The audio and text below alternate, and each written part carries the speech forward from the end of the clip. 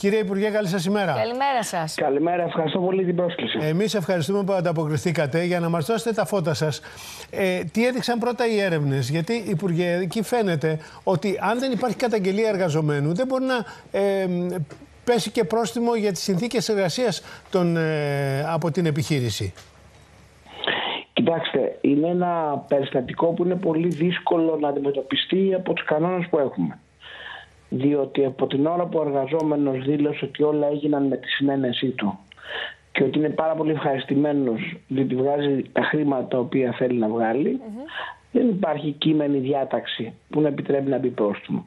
Εμείς εξετάζουμε από χθες ε, τα ζητήματα ασφαλείας εργασίας του εργαζομένου, δηλαδή ότι πρέπει να φοράει καπέλο, ότι πρέπει να φοράει ειδική μπλούζα κτλ. για να μην τον πειράζει ο ήλιος και να έχει θερμικό φορτίο που να μην είναι πάνω από κάποιο όριο. Προβλέπει ο νόμος, ο νόμος προβλέπει για παιδιά, που, για ανθρώπους που δουλεύουν μέσα στο νερό τέτοια; Όχι, το Δεν υπάρχει νόμος που προβλέπει δουλειά μέσα στο νερό, ούτε νόμος που απαγορεύει δουλειά μέσα στο νερό. Άρα εσείς εξετάζετε τις συνθήκες, γιατί αυτή είναι η είδηση που μας δίνετε τώρα. Υπάρχει, υπάρχει, υπάρχουν κανονισμοί ασφαλείας στον νόμο για το πώς ένας εργαζόμενος μπορεί να δουλεύει με ασφάλεια. Και αυτό εξετάζουμε στην προκειμένη περίπτωση αν έχει παραβιαστεί ή όχι, πώς θα μπορεί να, να γίνεται αυτή η δουλειά χωρίς να παραβιάζεται η συγκεκριμένη διάταξη. Σε κάθε περίπτωση, οφείλω να σας πω ότι όχι μόνο ο συγκεκριμένος εργαζόμενος, αλλά το σύνολο των εργαζομένων της επιχείρησης έβγαλε ανακοίνωση που ζητάνε να μην πειράξουμε για αυτή την επιχείρηση γιατί περνάνε πολύ καλά και πληρώνουν πολύ καλά. Αλλά αυτοί μπορεί να, ε, πώς να, πω, να πιέστηκαν και από τον εργοδότη να το κάνουν αυτό. Το Υπουργείο ναι, Εργασία. Αυτοί, αυτοί μπορεί και να έχουν πράγματι καλό εισόδημα ναι. και να τους κάνουμε ζημιά αυτή. Ναι, ναι, αυτό είναι αλήθεια. Το Υπουργείο Εργασία λοιπόν... έκανε, το, το ΣΕΤΑ έκανε εκεί έλεγχο.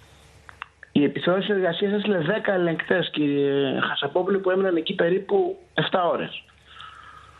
Μάλιστα. Ε, ήλεξαν την επιχείρηση εξονυχιστικότατα. Παραβάσεις στην επιχείρηση αυτή δεν βρέθηκαν. Τα πρόσματα τα οποία μπήκαν ήταν για την κατασκευή των, πλωστών, των πλωτών αυτών ε, ξαπλωστρών, αλλά τα πρόσωπα αυτά είναι από την Υπουργεία Ναυτιλίας. Δεν έχουμε εμείς δικαιοδοσία όπω τις κατασκευές. Υπουργέ, τώρα στα θέματα εργασίας, και ας μην σταθούμε μόνο στην ε, Ρόδο, γιατί ήταν κατανοητό αυτό που μας είπατε και ε, από τη στιγμή που δεν έκανε καταγγελία και ο εργαζόμενο, νομίζω ότι δεν υπάρχει θέμα.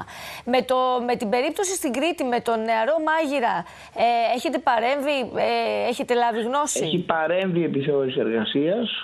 Η επιχείρηση έχει δεσμευτεί σε κάποια πράγματα και τη έχουμε βάλει πρόστιμο και υπάρχει παράβαση. Καμία σχέση με την άλλη. Έτσι. Ναι. Και ήταν αδήλωτη η εργασία παραβιάστηκαν όλα τα δικαιώματα του εργαζομένου, μπήκε πρόσωπο στην επιχείρηση.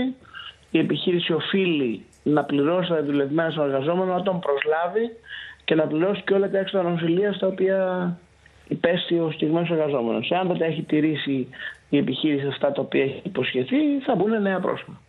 Τώρα, Υπουργέ, αναδεικνύεται όμως και αυτό το θέμα, βλέπετε τώρα και στη Ρόδο και στην Κρήτη και γενικότερα με τον τουρισμό, για τις συνθήκες που δουλεύουν αυτοί οι άνθρωποι στον τουρισμό.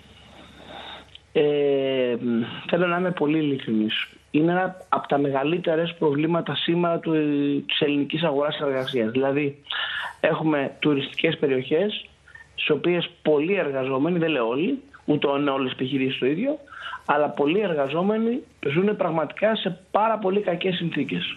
Και αυτό είναι κάτι το οποίο πρέπει να το αντιμετωπίσουμε άμεσα διότι επαναλαμβάνω ένα κεφάλαιο είναι η τουριστική μας επιτυχία και η ανάπτυξη της οικονομίας ένα άλλο κεφάλαιο που εμένα με απασχολεί πολύ είναι ανθρώπινες συνθήκες εργασίας οι οποίες πρέπει να τηρούνται απαραίτητα.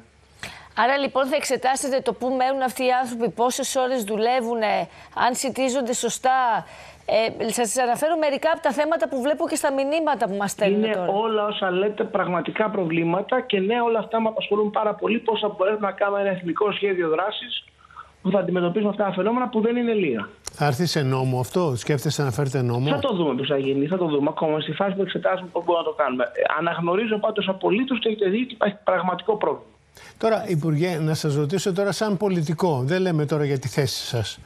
Έτσι όπως είναι τα πράγματα, ε, πείτε ότι δεν είσαστε στο Υπουργείο Εργασίας, αλλά επειδή ακριβώς έχετε άποψη, αυτές οι ξαπλώστες δεν πρέπει να ξυλωθούν από εκεί; Οι πλωτές, λες. Οι πλωτές. Ε, τώρα αυτό που μου λέτε είναι μια μεγάλη συζήτηση. Ε, τι να σου πω, δεν ξέρω πώς είναι η νομοθεσία μας ακριβώς. Έχω δει παρόμοια, έκανα μια προσπάθεια να δω τι γίνεται στον υπόλοιπο κόσμο. Είδα παρόμοιες κατασκευές σε περιοχές όπως τον Παλί, παραδείγματος χάρη.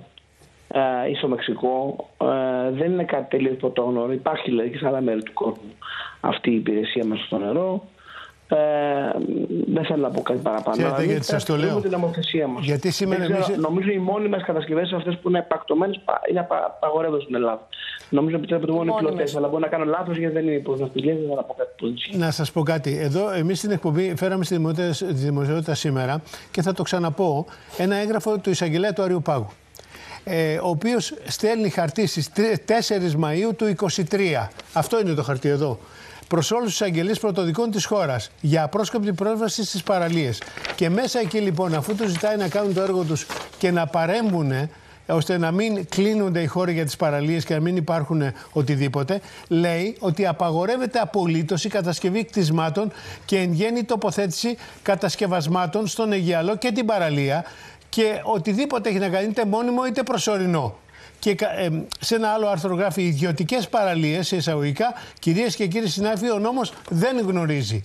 Δηλαδή, ο εισαγγελέας του Αριουπάγου έχει στείλει χαρτί από τις αρχές Μαΐου. Σας είπα, σας είπα και εγώ σε πρώτη άψη όπω το βλέπω, στην Ελλάδα επιτρέπονται μόνο πλωτές, μετακινούμενες δηλαδή και όχι σταθερές. Αυτό νομίζω. Αλλά επαναλαμβάνω ότι θα τα εξετάζει η υπηρεσία η αρμόδια. Γιατί σας το λέω τώρα, στη Μύκονο, στη Μύκονο η κυβέρνησή σας, η προηγούμενη κυβέρνηση, είχε δείξει μια ευαισθησία και έγινε έργο στη Μύκονο. Και όλος ο κόσμος είπε να βλέπετε, άμα υπάρχει πολιτική βούληση, παιδιά, όλα γίνονται σε αυτή τη χώρα. Ακόμα και στη Μύκονο ξυλωθήκανε και παραπετάσματα και εξαπλώστε και άνοιξαν, άνοιξε και ο Υγιαλό εδώ σε ορισμένα σημεία που γίνονται τέτοιες ε, παραβάσεις. Μα, και σε αυτό που δείχνετε παρενέβη το κράτος του. Υπουργείο Αθλητή Ναι, αλλά τα πρόστιμα. Αυτός βγάζει Υπουργείο ένα εκατομμύριο και πληρώνει 20.000 πρόστιμο. Όχι, τα πρόστιμα όταν μπαίνουν για παράνομη κατασκευή είναι για αυτό που έχεις ήδη κάνει. Παράλληλα με το πρόστιμο βγαίνει και πρωτόκολλο κατεδάφιση να το βγάλεις. Ε, αυτό, Α, αυτό γιατί είμαστε στα τρία πρόστιμα. Άρα αυτό, αυτός... εάν, εάν, είναι παράνομο κάτι, πρέπει να φύγει. Πρέπει να φύγει. Ναι. Εντάξει, χρειάζεται πολλή δουλειά και ο κύριος Γεωργιάδης ε, παραδέχεται και νομίζω ότι είναι και η αρχή αυτή ότι υπάρχουν. Υπάρχει θέμα εδώ πέρα που πρέπει να το δούμε και για την εργασία και για το πώς λειτουργούν. Ε, Σας επαναλαμβάνω, ναι. το θεωρώ το μεγαλύτερο πρόβλημα σήμερα του ελληνικού τουρισμού, της συνθήκης εργασίας των εργαζομένων. Χαίρομαι γιατί μεγάλα ξενοδοχεία που χτίζονται καινούργια, τα παρακολουθούν ο Υπουργός Ανάπτυξης Επενδύσεις, πρώτον να χτίζουν και πολύ αξιοπρεπή καταλήμματα για τους εργαζομένους. Σε μικρότερες μονάδες όμως και σε ευρεία κλίμακα αυτό δεν υπάρχει. Και είναι και η εκμετάλλευση αυτή. Πρέπει να βάλετε. Συνήθως ζουν σε κακές συνθήκες. Να σας πω κάτι. Ένα μυστικό σε αυτό το πράγμα το είπε ένας πολύ γνωστός δικηγόρος. Υπάρχουν πάρα πολλές επιχειρήσεις που νομίζουν ότι θα έρθουν τα παιδάκια να κάνουν σεζόν, τους υπόσχονται μαύρα τα μισά, άσπρα τα δεύτερα, ε, το ένα το άλλο και δεν τα πληρώνουν. Αυτούς εδώ πέρα, το μόνο που μπορεί να μία διάταξη χρειάζεται. Τους παίρνεις στην άδεια λειτουργίας. Όταν τους πάρεις στην άδεια λειτουργίας, τελειώνουν όλα τα ψέματα. Πονάει μετά. Ε, βέβαια μετά πονάει. πονάει. Δεν χρειάζεται να κάνετε 500 πράγματα. Ε, κύριε Γεωργιάδη, πριν σας αφήσουμε, τουλάχιστον δηλαδή, θα ήθελα να ρωτήσουμε και αυτό το καινούργιο που έχετε φέρει για τους συνταξιούχους που μπορούν να δουλεύουν και δεν θα, θα μειώνεται ε, ανάλογα ο Αναλογικά η σύνταξή τους το. Υπάρχουν σχετικές ανακοινώσεις στη Βουλή για τις λεπτομέρειες διάταξης, ε, κυρία Βουλή. Από πότε θα ξεκινήσει. Είναι ένα, θέμα, είναι ένα θέμα το οποίο μας απασχολεί πάρα πολύ. Ναι. Η πρόθεσή μας είναι να μην είναι ποινή για το συνταξιούχο η εργασία. Ε, α, να, δηλαδή να μην θεωρεί ότι αν κάποιος ο παιδάκι μου θέλει να δουλέψει, θέλω ένα παράδειγμα. Έχεις κάποιους καλλιτέχνες που θέλουν να κάνουν 3-4 μεροκάματα το μήνα. Ναι. Ε, γιατί θέλει να πάνε να κάνουν τρεις εμφανίσεις. Δεν μπορεί αυτός να χάνει το 30% τη συνταξή του για να κάνει τρεις εμφανίσεις, διότι αυτό που τελικά θα κάνει είναι, είναι να μην κάνει τις εμφανίσεις, να τις κάνει και απλωθεί μαύρα. Ε, αυτά πρέπει να τα αντιμετωπίσουμε. Αυτό πότε υπολογίζετε να το φέρετε μέσα στον Αύγουστο; Ε, θα νομοθετηθεί όσο γίνεται πιο γρήγορα. Είμαστε τώρα σε επαφή με την κυβέρνηση, θα γίνουν ανακοινώσεις του Βουλή. Το λέω γιατί πολλοί άνθρωποι δουλεύουν και ως σερβιτόροι, μην νομίζετε. Δεν πάνε μόνο τα παιδάκια για να, να συμπληρώσουν το εισόδημά τους. Άρα... Καθόλου δεν το υποτιμώ. Ναι. Καθόλου δεν το υποτιμώ. Ασφαλώς υπάρχουν άνθρωποι που χρειάζονται και την περαιτέρω εργασία. Θέλουν να βελτιώσουν τις συνθήκες της ζωής να βελτιώσουν το εισόδημά τους είναι απολύτω σεβαστή αυτή τους και η ανάγκη και η επιθυμία. Υπουργέ, μια που φτάσαμε σε αυτό το σημείο, χθε μου έλεγε άνθρωπος του τουρισμού, πολύ μεγάλος. Έλεγε: Ψάχνουμε να βρούμε ανθρώπους να δουλέψουν και δεν μπορούμε να βρούμε. Άλλο θέμα. Και, όχι, και ε, ψάχνουν νέους ανθρώπους. Λέει: Έτσι καταλήγουμε να παίρνουμε πιο μεγάλους ανθρώπους που έχουν μια σύνταξη. Σας λέω, λέει, εγώ για να μπορέσω να βρω έναν άνθρωπο που παίρνει μια σύνταξη, γιατί να μην μπορώ αυτό να τον πάρω με το 100% και να μην χάνει τίποτα αυτός ο άνθρωπος. Ή μου είπε το άλλο, απαγορεύεται να δουλεύει κάποιος σε δύο δουλειές; Δύο οχτά ώρα.